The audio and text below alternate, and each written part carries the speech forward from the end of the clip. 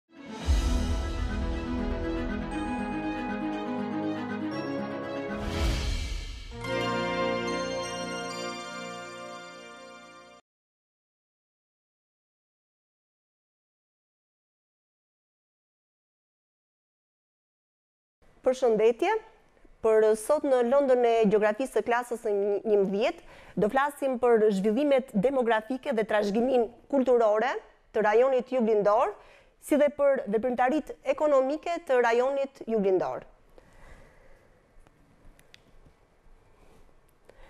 Në fillim do flasim për popullimin, pra për zhvillimet demografike, pra për popullsinë e rajonit juglindor.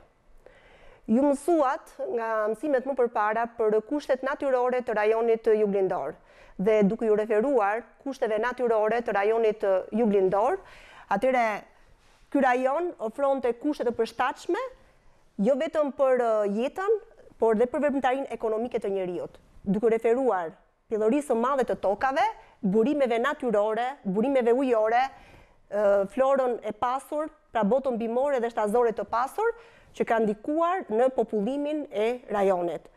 Rajoni është populluar që në antikitet dhe duke u referuar të dhënave arkeologjike që janë gjetur në Maliq, në Tren, në Shpellën e Trenit, në Kamnik të Kolonjës, Rajoni është populluar nga fiset ilire të Enkelejve dhe të Dasaretëve, të cilët dallohen për një shkallë të lartë të zhvillimit të tyre.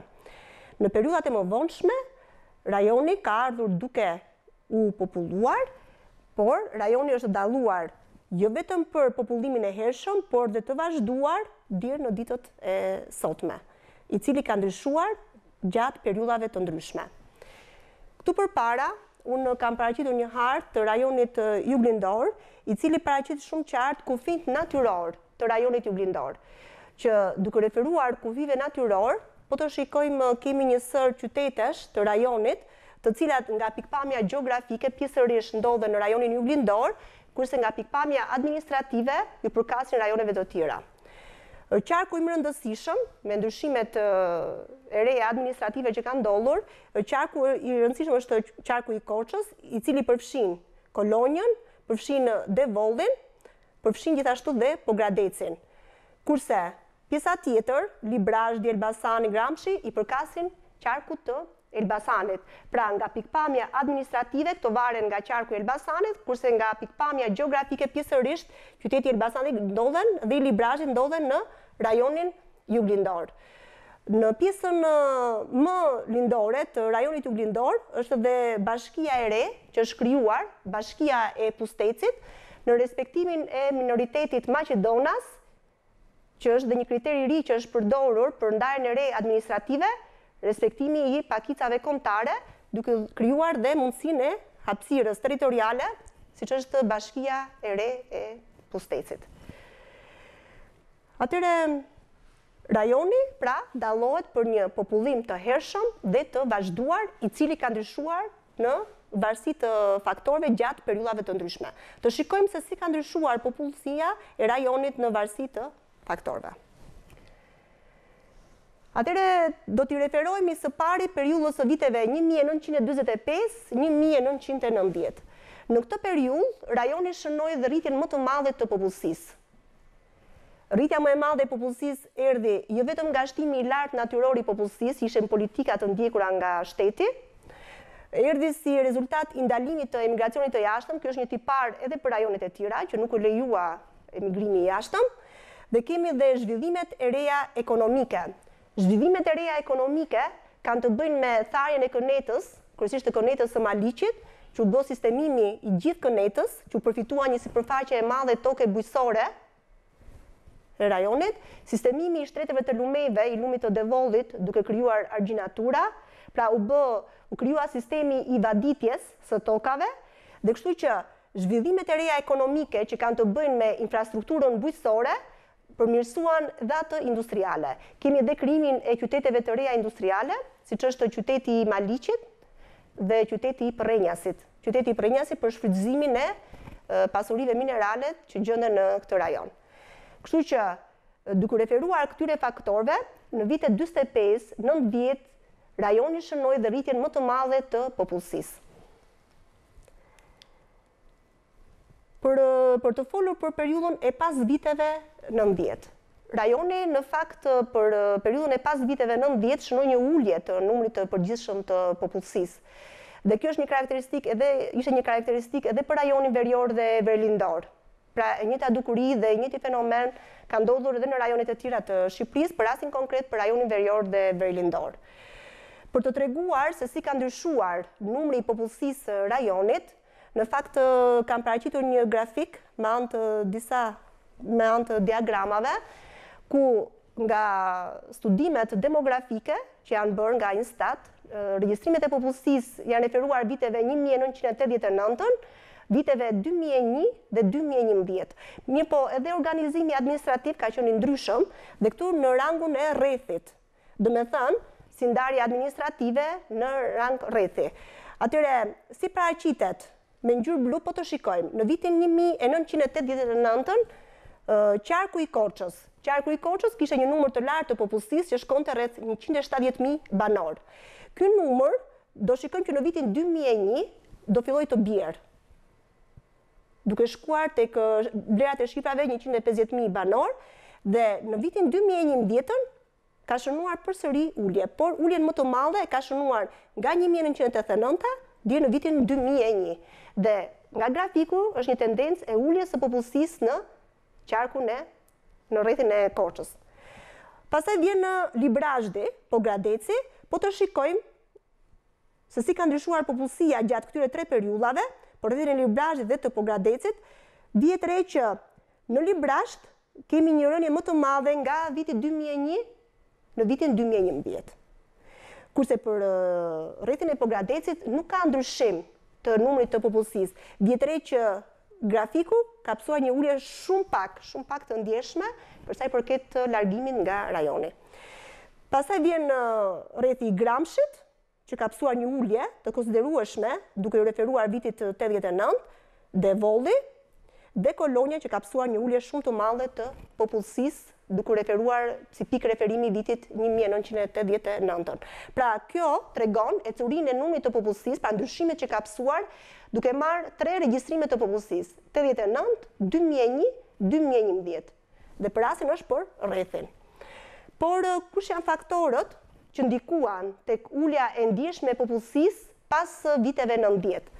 Faktorët që ndikuan ka të bëjë me lejimin e lëvizjes së lirë të njerëzve. Pra njerëzit u lejuan të lëviznin në formën e migrimit të brendshëm, që këto emigruan drejt rajonit perëndimor dhe atij të jashtëm, kryesisht drejt Greqisë, si shtet fqinj, dhe drejt rajoneve të tjera të Europës. Kemi rënien e shtimit natyror të popullsisë, kuptohet që mosha që largohet është mosha e re, që ka të bëjë me riprodhimin. Kështu që shikohet dhe një rënie e shtimit natyror të popullsisë si rezultat i rënies së koeficientit të lindshmërisë.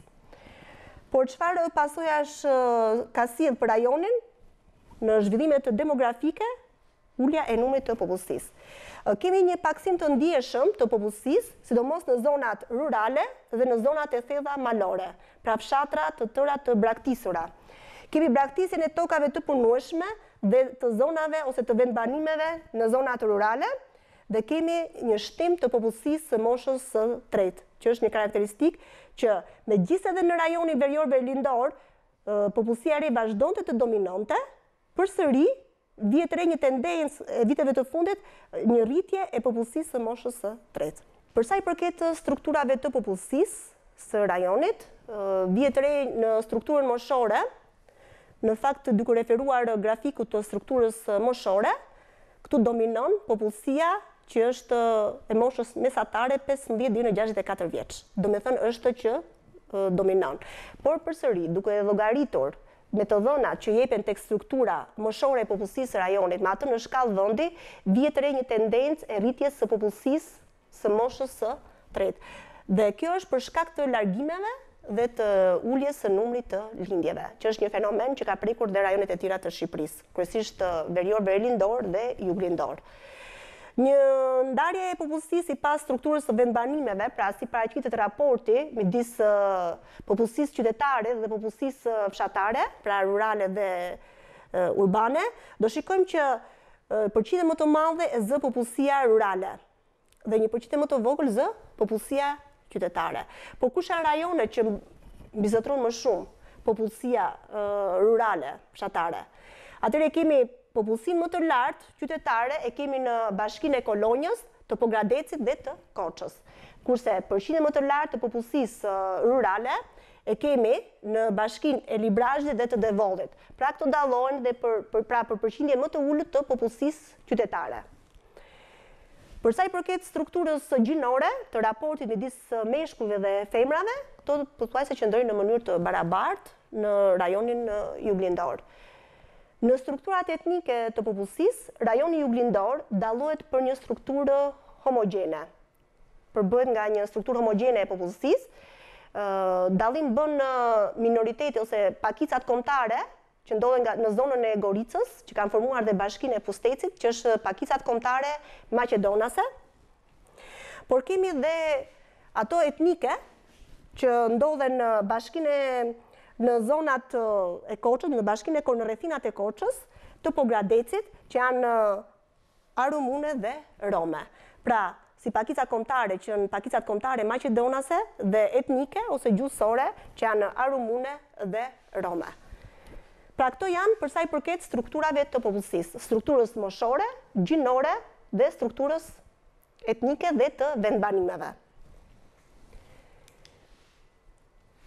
Rajoni gjithashtu dallohet dhe për një trashëgimi kulturore shumë të pasur, e cila lidhet me monumentet, që janë jo vetëm monumente historike, arkeologjike, arsimore, fetare, por rajoni në trashëgiminë kulturore shquhet edhe për një traditë të pasur të gatimit të mikpritjes dhe të muzikës karakteristike. Këto vlera kulturore mbështesin zhvillimin e turizmit gjatë gjithë vitit për rajonin juglindor.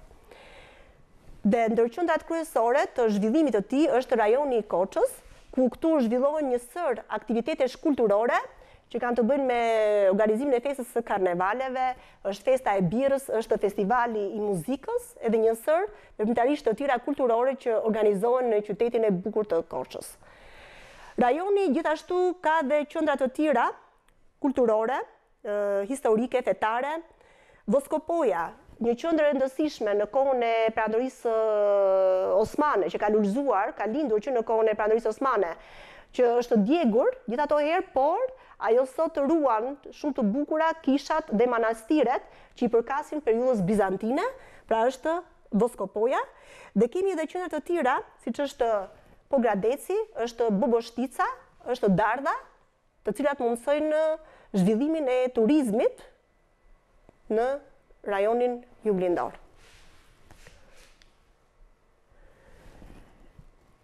Përveç zhvillimeve demografike të rajonit, kemi dhe veprimtaritë ekonomike.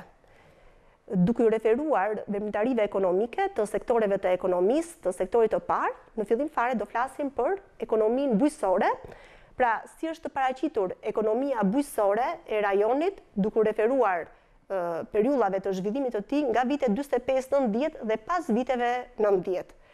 Dhe po t'i referohemi potencialeve që ka rajoni, rajoni juglindor ka potencial natyror dhe njerëzor që mundësojnë zhvillimin e të gjithë sektorëve të ekonomisë. Së pari me ekonominë bujqësore.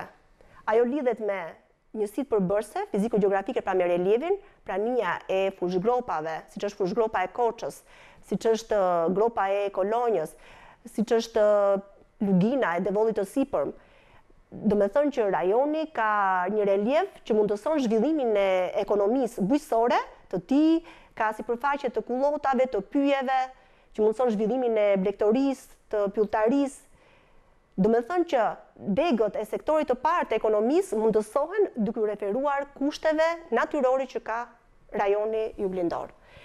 Ekonomia bujqësore e rajonit juglindor në prodhimin e përgjithshëm bujqësor të Shqipërisë zë një nga vendet kryesore.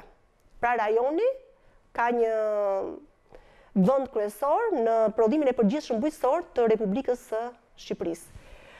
Kemi, ajo ka një shtrirje të konsiderueshme, pra të sipërfaqeve të sheshta, ato që thamë dhe në fillim, me fushëgropat, me gropat, kemi klimën, kemi tokat, që kemi kategorinë më të mirë të tokave bujqësore të punueshme në rajonin juglindor.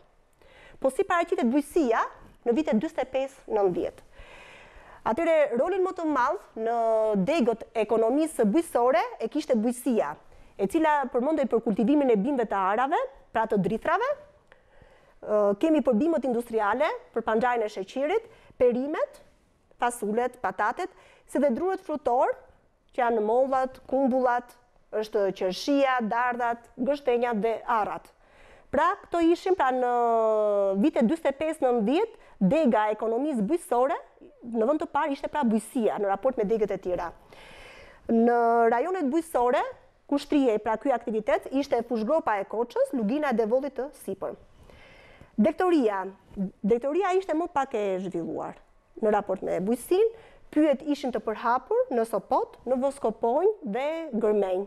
Pra kjo është për sa i përket veprimtarisë të ekonomisë bujqësore, ku vend kryesor zinte dega e bujqësisë. Dhe kur ne thamë tek ndryshimet që ndodhën, edhe tek popullimi.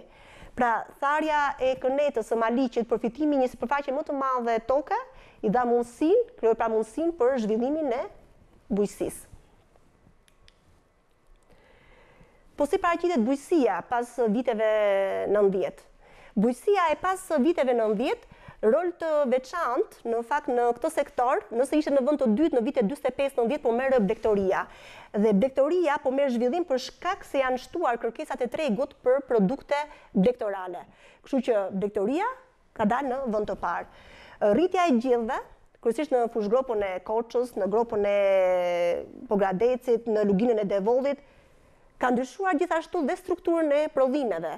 Pra, nëse atje ishin drithërat, kemi bimët industriale, këto janë zëvendësuar me kulturën e foragjireve, pikërisht për rritjen e gjedhëve. Bagëtitë e imta rriten në malësinë e Vithkuqit, të Librazhdit dhe të Kolonjës, që kanë një reliev edhe më të thyer dhe më malor. Po si paraqitet ekonomia industriale e rajonit juglindor në varësi të kushteve natyrore që ka rajoni? Potencial për zhvillimin e ekonomisë industriale janë pasuritë e shumta, mbitokësore dhe nëntokësore, që këto pasuri minerale lidhen me ndërtimin gjeologjik të rajonit, megjithëse ishte më i kufizuar përhapja e shkëmbinjve magmatik në këtë rajon, që lidhet me pasuritë minerale të hekur-nikelit, që ndodhen në zonën e Prrenjasit, në Gurin e Kuq, në Pishkash, kemi të kromit në Pojskë, Në Katjel, kemi të bakrit në Vithkuq dhe materialet e ndërtimit, siç janë mermeri, argjilat dhe rërat kuarcore. Pra, duke u referuar pasurive mbi dhe nëntokësore, rajoni juglindor ofron kushte për zhvillimin e industrisë. Po si është industria e viteve dyzet e pesë, nëntëdhjetë, pra e kësaj periudhe në këtë rajon? Atëherë përmendej për për nxjerrjen e qymyrit, pra për qymyr guri në minierën e Alarupit, në Mborje dhe Drenovë, kemi industrinë minerale të nxjerrjes hekur-nikelit, që është në minierat e Pishkashit, të Gurit të Kuq, të Prrenjasit, kemi të bakrit që nxirrej në minierat e Vithkuqit, pra gjatë kësaj periudhe. Industria e drurit ishte zhvilluar kryesisht në Voskopojë dhe në Sopot, Rajoni furnizonte dhe rajonet e tjera me mobilje që në atë kohë prodhoheshin në Pogradec dhe në Korçë. Pra, ishte dhe për përpunimin e drurëve, e drurit, duke krijuar dhe mobiljet që furnizonin dhe rajonet e tjera të Shqipërisë. Pra ishte i vetmi, mund ta themi, për rajonin juglindor. Zhvillim në rajon mori dhe industria e lehtë dhe ushqimore, që është një traditë historike e rajonit juglindor. Në këtë periudhë, ja këtu është një në qytetin e Prrenjasit të minierës, një pamje e vjetër. Po si paraqitet industria e pas viteve 90. Në industrinë e pas viteve nëntëdhjetë, do shikojmë që kemi tipare të reja të industrisë në kushtet e ekonomisë së tregut. Pra Shqipëria kishte hyrë në kushtet e ekonomisë së tregut, kështu që edhe industria do fillojë të marrë tipare të reja për t'iu përshtatur ekonomisë së tregut. Kjo solli që të mbylleshin disa degë të industrisë. sepse ishin teknologji të vjetruara dhe kështu që kjo solli dhe mbylljen e minierave. Kemi industria e lehtë pati një prirje të zhvillimit, është me ritme më të shpejta, qoftë industria e lehtë, qoftë industria ushqimore, kemi këto të bizneseve të fasonerisë që ekzistojnë në këtë rajon dhe kjo është një traditë e vjetër e rajonit që këto vazhdojnë dhe ta ruajnë. Zhvillim po merr industria e materialeve të ndërtimit. Kemi të mermerit në Polenë dhe të argjilës në prodhimin e tullave që ndodhet në Devoll. Sektori i tretë, tregtia, turizmi dhe transporti, po zhvillohen në mënyrë të ndjeshme. Pra në rajon po merr një zhvillim të ndjeshëm tregtia, turizmi dhe transporti. Rajoni ka kushte natyrore shumë të përshtatshme shumë të favorshme për zhvillimin e turizmit, që ai të zhvillohet gjatë gjithë vitit, përveç turizmit bregliqenor që mund të zhvillohet në liqenin e Ohrit, pra në qytetin e Pogradecit dhe të Prespës, agroturizmi në fshatrat turistik, siç është ai i Devollit, i Voskopojës, dhe turizmi kulturor historik, po merr zhvillim shumë të madh, duke bërë të mundur zhvillimin e turizmit gjatë gjithë vitit.